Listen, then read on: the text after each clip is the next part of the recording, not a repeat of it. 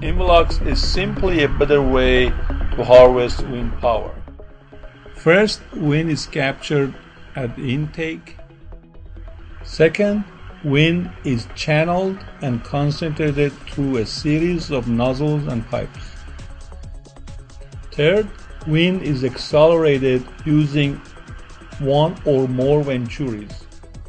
Fourth, wind at its maximum energy is converted to electrical power.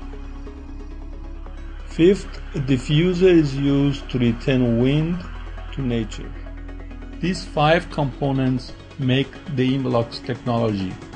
In addition to being environmentally friendly, having no turbine at the top, having generator at the ground level, we can harvest wind as low as 2 miles per hour.